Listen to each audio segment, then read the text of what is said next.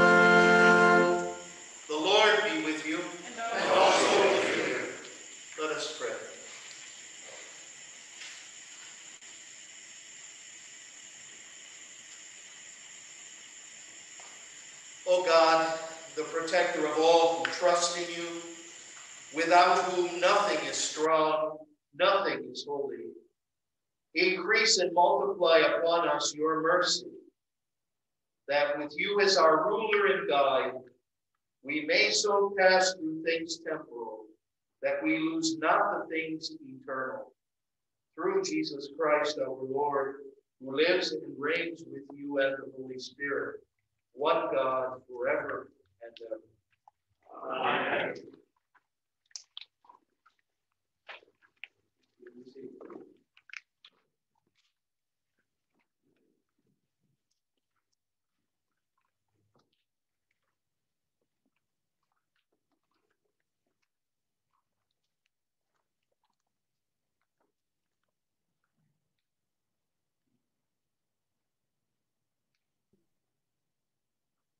Sorry, y'all. Having a little technical difficulties. David's failure to go to battle with his army is compounded by his adultery with Bathsheba and his conspiring to ensure that her husband, one of David's soldiers, meets his death. A reading from the second book of Samuel.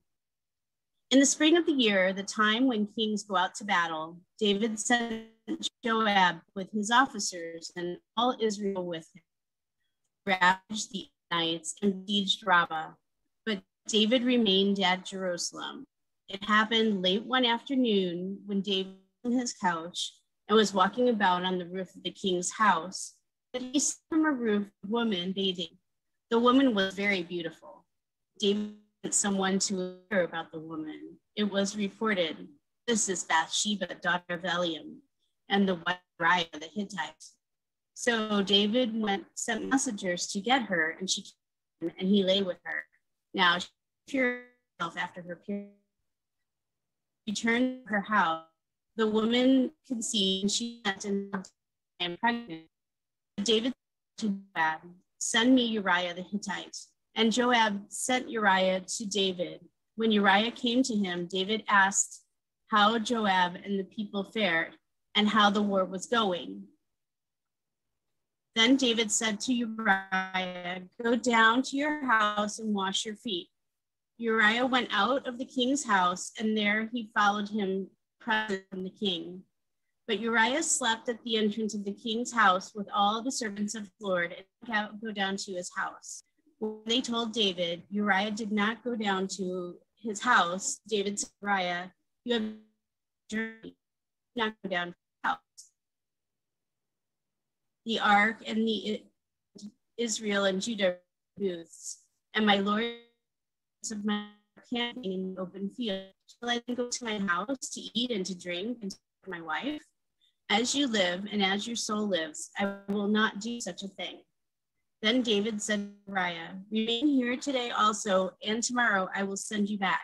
So Uriah remained in Jerusalem that day. On the next day, David invited him to eat and drink in his presence and made him drunk.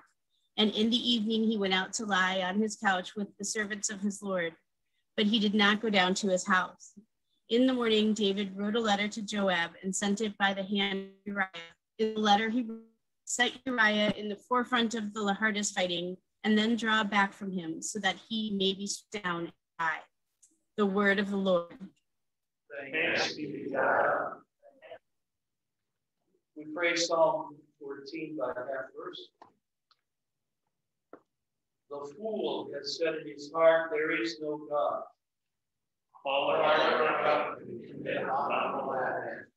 There is none. The Lord looks down from heaven upon us all. To see if there is any wise. If there is one who sees good. Everyone has proved faithless. All alike have turned bad. There is none who does good. No, not one. Have they no knowledge of all these evildoers? We have my people like prayer. And do not call upon the Lord. See how they tremble with fear. Because God is complete the righteous. Their aim is to confound the plans of the afflicted. But the Lord is their refuge. Oh, that Israel's deliverance would come out of Zion. When the Lord restores the fortunes of his people, Jacob will rejoice and with the land.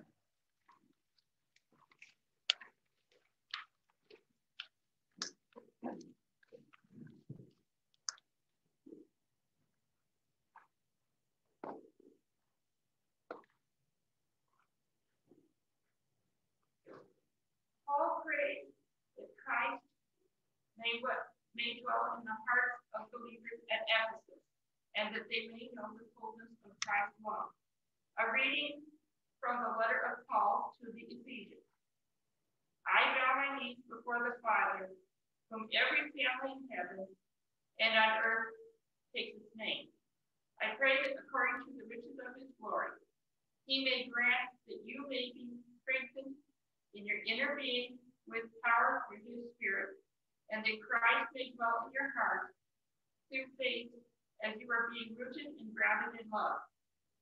I pray that you may have the power to comprehend with all the saints what is the breadth and the length and the depth, and to know the love of Christ that surpasses knowledge, so that you may be filled with the fullness of all the fullness of God. Now to him, by the power at work within us, is able to accomplish abundantly far more than all we ask or imagine. To him be the glory in the church and in Jesus Christ to all generations, forever and ever. Amen. The word of the Lord. Thanks be to God.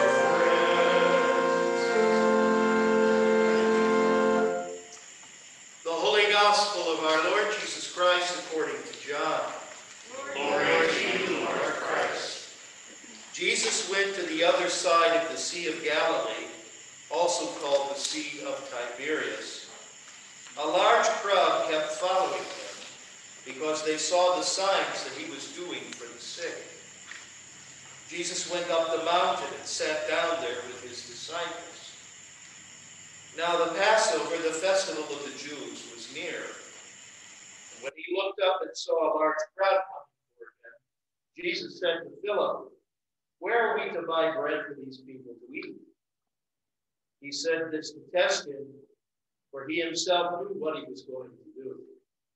Philip answered him, Six months' wages would not buy enough bread for each of them to get a little. One of his disciples, Andrew, Simon Peter's brother, said to him, There's a boy here who has five barley loaves and two fish. But what are they among so many people? Jesus said, Make the people sit down. Now there was a great deal of grass in the place, so they sat down, about 5,000 in all. Then Jesus took the loaves and when he had given thanks, he distributed them to those who were seated. So also the fish, as much as they wanted. When they were satisfied, he told his disciples, Gather up the fragments left over, so that nothing may be lost. So they gathered them up, and from the fragments of the five barley loaves left by those who had eaten, they filled twelve baskets. When the people saw the sign that he had done, they began to say, This is indeed the prophet who is to come into the world. When Jesus realized that they were about to come and take him by force to make him king, he withdrew again to the mountain by himself. When evening came, his disciples went down to the sea, got into a boat, and started across the sea to Capernaum.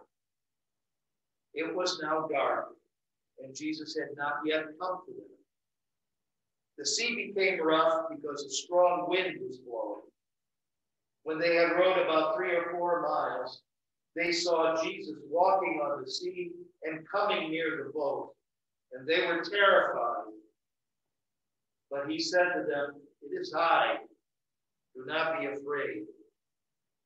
Then they wanted to take him into the boat and immediately the boat reached the land toward which they were going.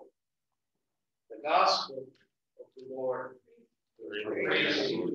Praise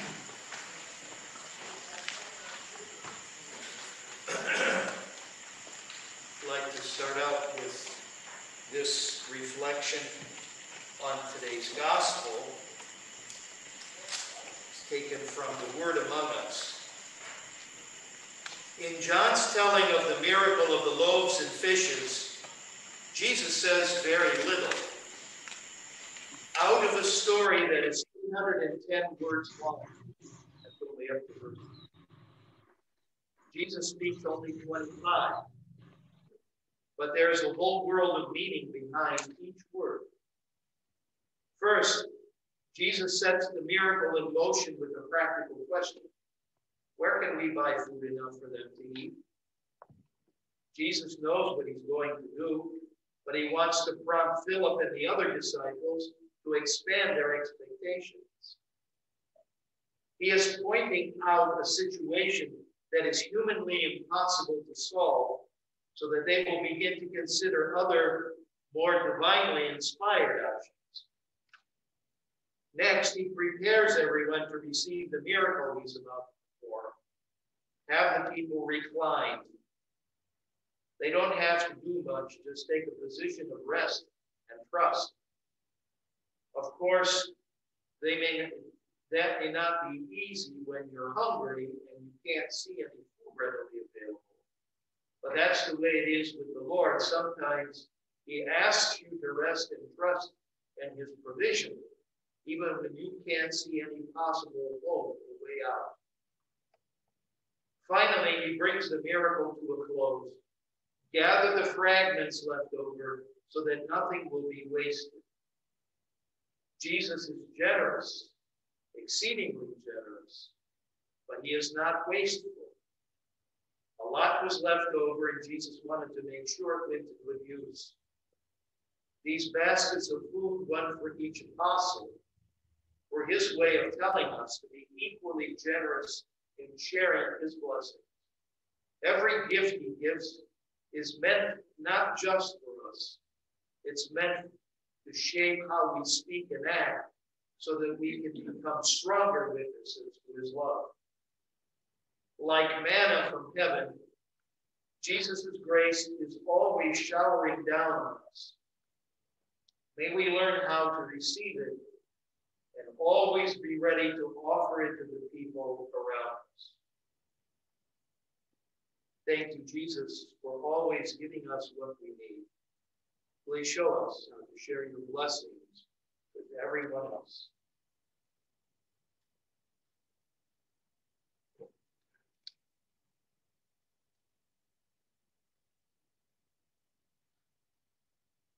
One of the things that's going on in the gospel that may help to explain where it talks about uh, when Jesus realized they were about to come and take him by force to make him king was that they not only were following him because of the other miracles that he had done, but because those things were signs that the Messiah had come into their midst. And one of the things that the people who were following Jesus wanted more than anything else, what they were really hungering for, was this Messiah to come, this leader who was going to drive out the Romans and make them a great nation again, and make sure that they had every blessing that God wanted them to have in the first place as his chosen people. And so when they experienced this miraculous multiplication of loaves and fishes, they're convinced, at least some of them are, very strongly convinced that he's the one. Let's go after him. Let's make sure he doesn't get away from us because this is the one we need to lead us into battle. This is the one we need to conquer our enemies and to return to the greatness that we once had under David and under some of the other kings that we had. So that's the undercurrent there. And so Jesus makes sure that they can't find him. And then he does this thing that we hear about in the other Gospels as well, Matthew, uh, Mark, and Luke of walking on the water out towards the boat. And of course, they think that they're seeing a ghost. And he tells them, It's me. Don't be afraid. Here I am. And when they acknowledge his presence, all of a sudden they're on the other side. They get right to Capernaum. And this is John's way of trying to tell us that they had to contend not only with the mystery of this multiplication of loaves and what to do and how to imitate him with the leftovers as the meditation. But also, how can they understand this one who walked out on the water without sinking, and then as soon as he got into the boat, they immediately get to the shore. There's too much going on here for them to grasp away, but it continues to be a challenge to them, just like the multiplication of the loaves and the fishes was a sign, another sign. And Jesus is going to continue to talk about that and about himself over the next several Sundays when we read from the sixth chapter of John's Gospel, getting us to think again about word and about sacrament and about how Christ comes into our midst and why Christ came into our midst and why does he continue to come into our midst. And why it is that his decision was that we should be able to eat his body and drink his blood in this spiritual way that we do by receiving the gifts that he wants to give us. And what does that mean for you and for me as far as becoming more like the one whose presence, whose body, whose blood we take into ourselves time after time in Holy Communion because the gift that he gives is meant to transform us more and more into his likeness. And that was the ongoing challenge that the apostles had. All during Jesus' ministry, they had to cope with this. This isn't just a miracle worker. This isn't just a prophet. This one is divine in some way or other. These things couldn't happen And so, as we go through our own Christian journey, we're going to be confronted again and again if our minds and our hearts are open to what it is that God still wants to accomplish in us. How he wants to continue to transform us. Because that's God's work, is to help us by the power of his love and grace to become more and more Christ like. That our compassion and our generosity and our loving and our forgiving will become more like Christ's own compassion and loving and giving. It sounds maybe too good to be true, but that's why we have a lifetime and during that lifetime are invited to continue to walk this journey with the Lord, that it's not a once and done thing, and then we just mark time in, in the meanwhile. That we are called to remember that He's the one that's in our midst, that He is with us, and that we can't just presume on our identity as Christians that we have to be open to grow. That's what happened to David. David became so convinced that he was so good and right that he could do anything he wanted. So when everybody else is going out to battle, he stays home.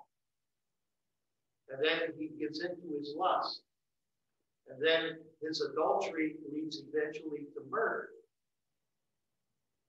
And he repents, certainly, but the consequences of his actions, because he refused to allow God to continue to work in his own life, even though he was the anointed one of God, chosen especially by God to replace Saul. He let all of that kind of stuff go to his head to the point that he just thought he was the be all and the end all that there was. He goes on to do great things, but terrible things happen in his family. That kind of shows what's going to happen with the monarchy as it goes on after David and even after his son Solomon. That's why Paul, in the second lesson today from Ephesians, stresses this for you and me.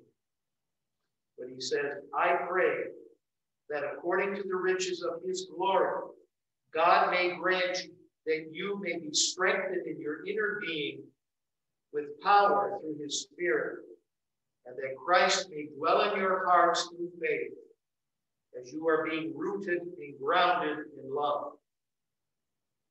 I pray that you may have the power to comprehend with all the saints, all the holy ones of God, what is the breadth and length and height and depth, and to know the love of Christ that surpasses knowledge so that you may be filled with all the fullness of God. That's Christ's goal for you and for me, that we be filled with all of God's fullness, His love, His compassion, His mercy, His generosity, and all those other virtues that what we see Jesus doing in the gospel we are called to do as the apostles were learning that they needed to do in order to be faithful to the one who had called them and who was sharing with them not just his actions, but the very love that drove those actions, the love that came from the Father that he made manifest in his own self, because he also was God. This one who is God with us, comes to us again today. And that little bit of bread and that little bit of wine that we receive in Holy Communion. He comes to us to nourish us, to strengthen us, and again to remind us, as St. Augustine said so many centuries back, 1600 years or more ago, that we are invited to become what we receive. And we are to receive what we are. We receive the body of Christ that we already are by virtue of our baptism as a pledge and a promise and an invitation to continue to grow into the likeness of Christ as the living members of his body to do the work that he has given us to do, to make him present and to make of this world the gift back to God that God has made us.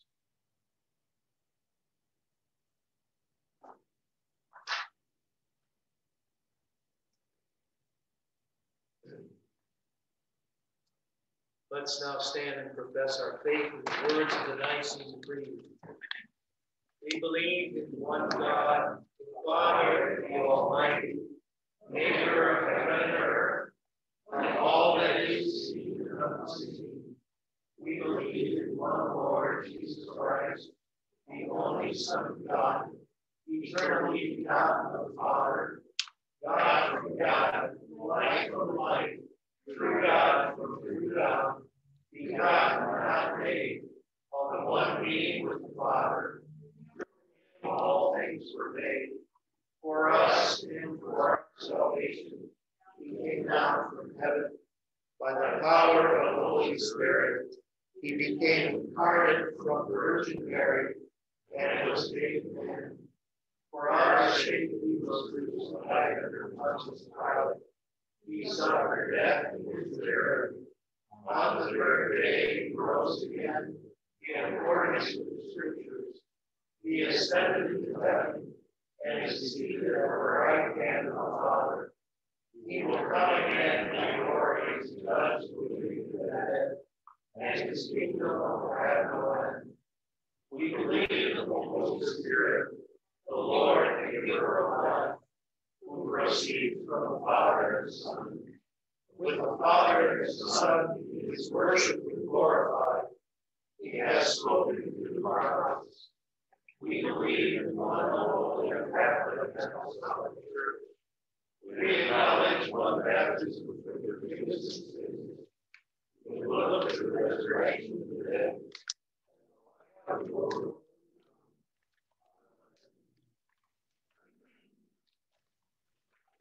We yearn for the fullness of God that Christ may dwell in us and we in him. We thank you for the gift of life and for our connection with all that you have made. May we delight in your creation and protect it. Fill us with your presence, O God, in your mercy, O Lord. We thank you for your church and its leaders dedicated to the spiritual growth and renewal of humanity through your Son, Jesus Christ, especially Justin of Canterbury, Michael, our presiding bishop, Paula, our bishop select, bishop elect, Mike, our rector, the Scottish Episcopal Church, its primus bishops, clergy, and faithful, congregations of the Waukegan Deanery, Holy Apostles Wauconda, Christ Church Waukegan, Our Lady of Guadalupe Waukegan, St. Anne Woodstock, our companion diocese of Southeast Mexico and Renk, South Sudan, San Andres, Veracruz, and St. Bartholomew in Brielle. In your mercy, O Lord.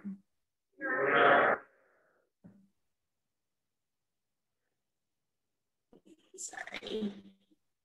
We thank you for creative, compassionate leaders throughout the world, especially Joseph, President of the United States, and all federal, state, and local officials.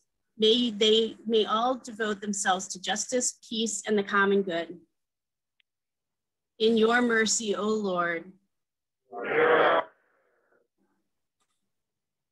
We thank you for the endless and beautiful diversity of humanity especially those in our celebrating birthdays this week. Chris LaRocco and Jack Irwin. Are there others? And those celebrating anniversary this week, anniversaries this week. Marcia Snyder and Wayne Morey and Megan and Britton Crawford. Are there any others? May we recognize and celebrate your image in every person we meet in your mercy, O Lord. We thank you for the promise of your presence in our lives. May our concern for those among us who are hurting bring us prayer, especially those who have asked for our prayers have no one to pray for them. Those affected by war, civil strife, persecution, hunger, and disease, all on our intercessory prayer list those names found in today's bulletin or the attention books, and any wish to remember now. Remember all those in our country who are suffering because of the extremes of heat and the danger of fires, for their protection and relief.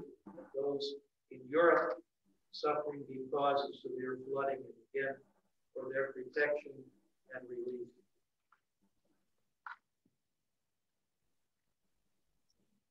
May our care for them be a healing balm. In your mercy, O Lord. We thank you for the gift of new life in this world and the hope of new and everlasting life. We remember those who have died this past week, especially James Hubbs, Miguel Garcia, and those whom we name now. Father Bernard Schaefer,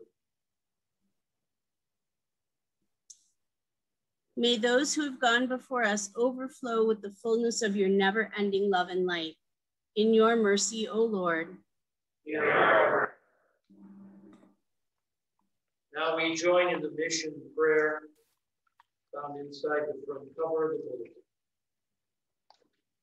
Loving God, through your grace, guide us, the people of Calvary Episcopal Church, to joyfully carry out our mission of growing faith in your Son, Jesus Christ.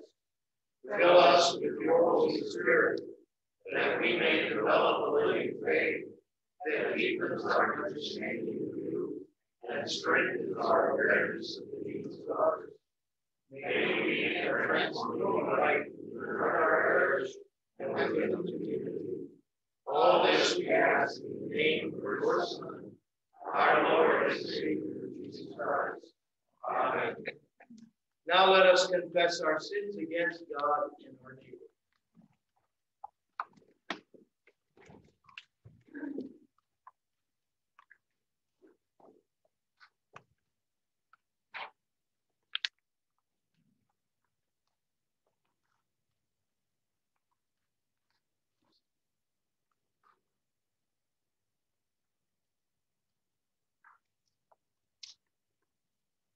Most merciful God, we confess that we have sinned against you.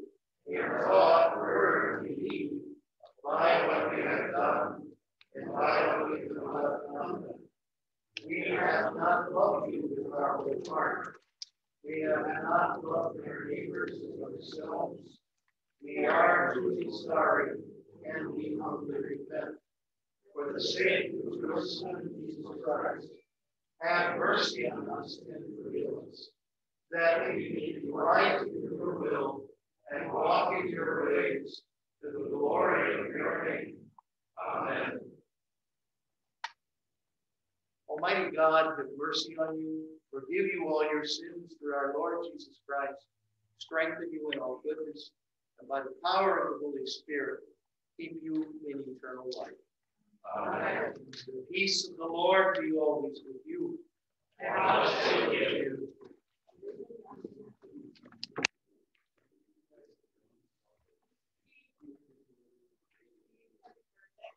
You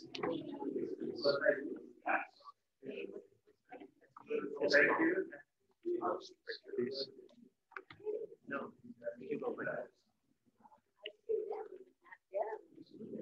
I just want to say, peace, everybody.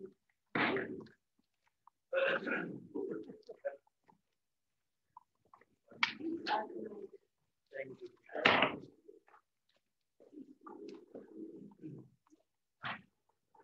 The uh, red bowl collection uh, today is for Chip In, which is one of the groups under the uh, Batavia uh, Committee for Educational Excellence. And uh, they are supporting a number of initiatives with the uh, public schools, but one of the things they help to also support is the outreach to those students and their families who um, are homeless and uh, down on their luck as far as food goes, food insecurity. So we ask you to be generous as you can. Just drop your offering of the red bowl. Um, and if you have your own envelopes, you can put them in the basin underneath the red bowl. Reminding everybody that this coming Friday night, um, Fox Valley chapter of the American Guild of Organists is presenting Bach and Beyond um, at the Marmion Abbey, and that's at 7:30 p.m. There's uh, that's on the back of the bulletin. Um, Mark Klein, our organist, is one of the participants, so you can uh, go and hear him play on a much grander instrument than, than we have here. Also, um, I just would call your attention to the other announcements in today's bulletin and uh, respond to them as you will. Tomorrow evening, uh, because it's the first Monday of the month, not the last Monday of the month, I don't even know when it is. The last Monday of the month, tomorrow, we will have everything you wanted to know about the church. And we will gather here at church tomorrow night at seven. Unless I hear a huge outcry that we insist on doing it virtually, we'll have it here tomorrow night. Um, any other announcements from the congregation or anyone involved?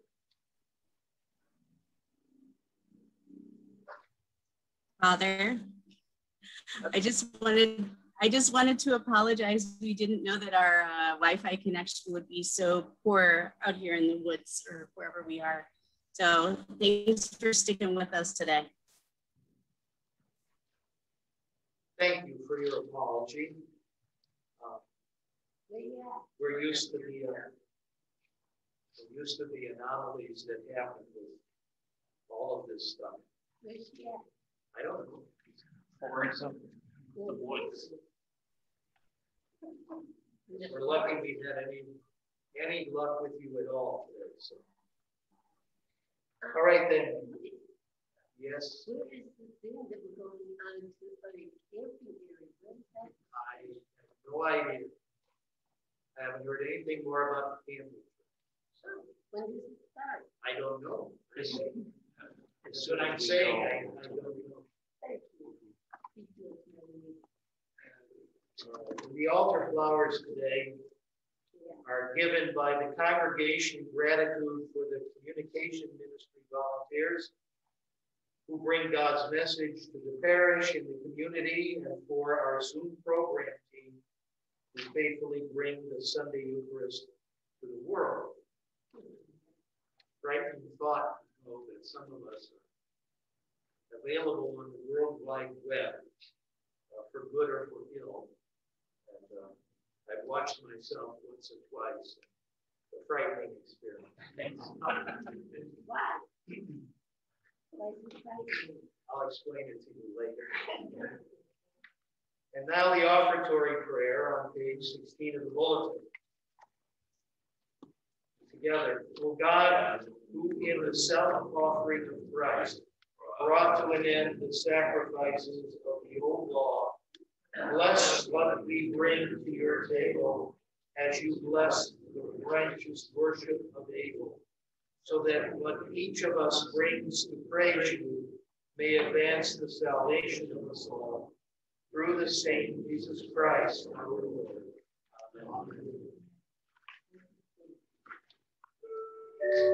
Amen.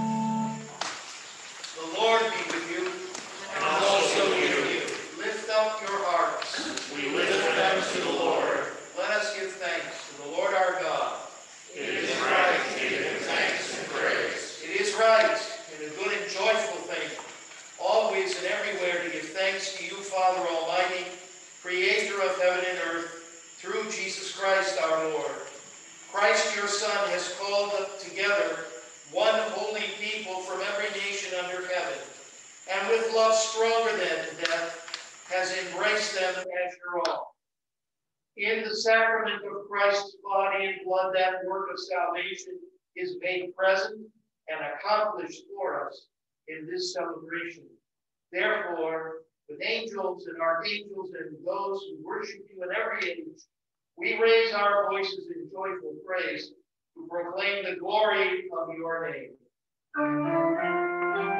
Holy, holy, holy,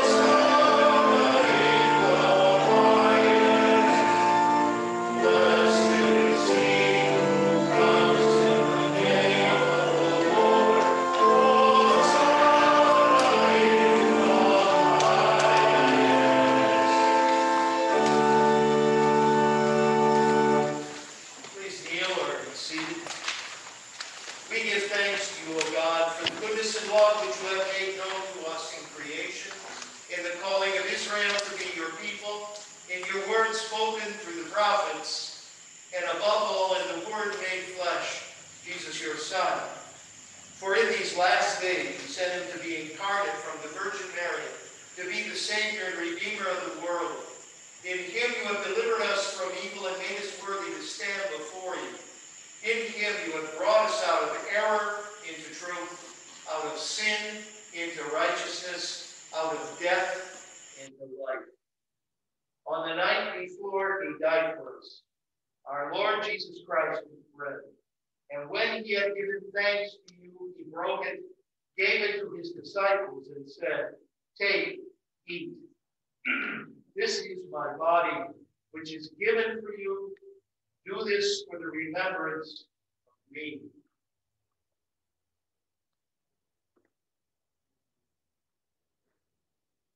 After supper, he took the cup of wine, and when he had given thanks, he gave it to them and said, Drink this, all of you. This is my blood of the new covenant, which is shed for you and for many for the forgiveness of sins.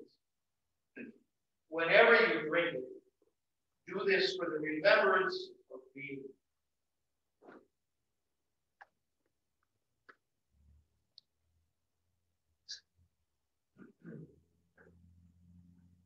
Therefore, according to his command, O Father, we remember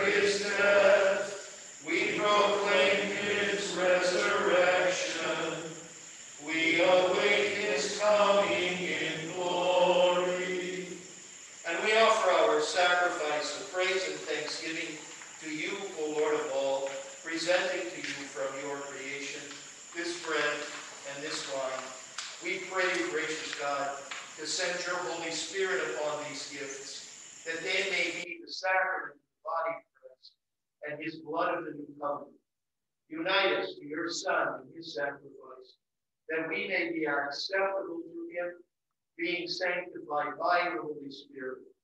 In the fullness of time, put all things in subjection under your Christ, and bring us to that heavenly country where with the Blessed Virgin Mary and all your saints, we may enter the everlasting heritage of your sons and daughters through Jesus Christ our Lord, the firstborn of all creation, the head of the church, and the author of our salvation. By him, with him, and in him, in the unity of the Holy Spirit, all honor and glory is yours, Almighty Father, forever and ever.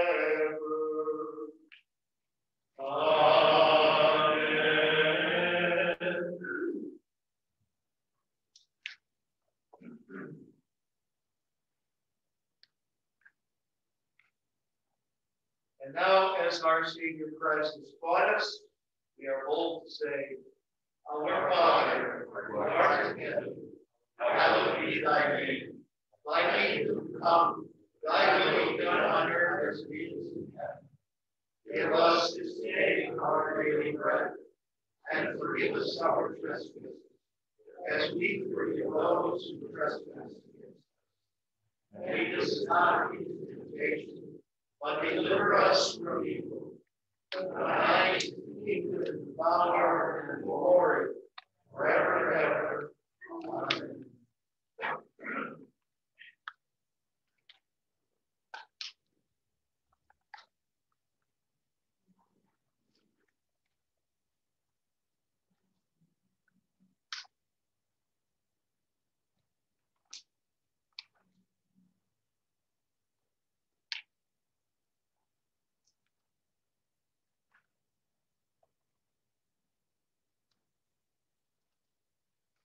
Hallelujah. Christ our Passover is sacrificed for us.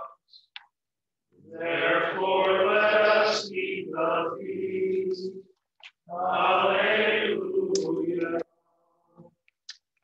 The gifts of God for the people of God. Take them in remembrance that Christ died for you, and feed on him in your hearts by faith with thanksgiving. in union, blessed Jesus, with the Christian faithful across the world, gathered at every altar of your church where your blessed body and blood are offered this day. I long to offer you praise and thanksgiving for creation and all the blessings of this life, for the redemption of the world by our Lord Jesus Christ, for the means of grace and the hope of glory, and particularly for the blessings given me.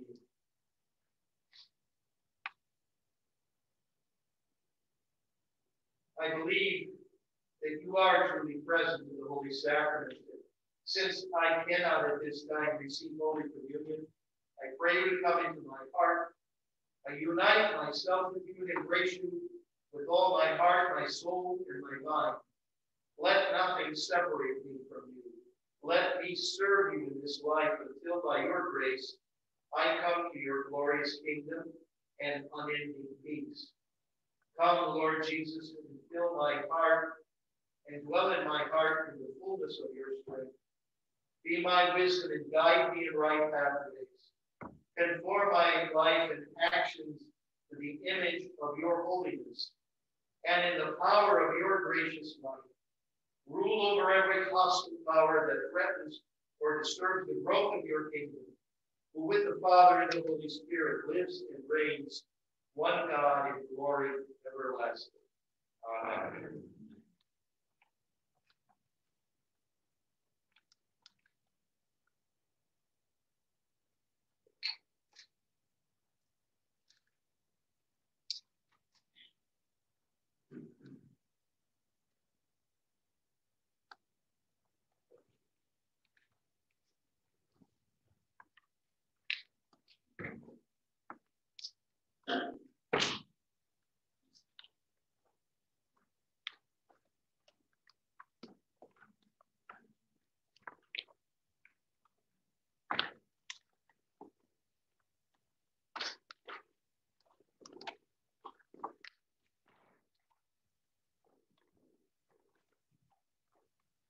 Thank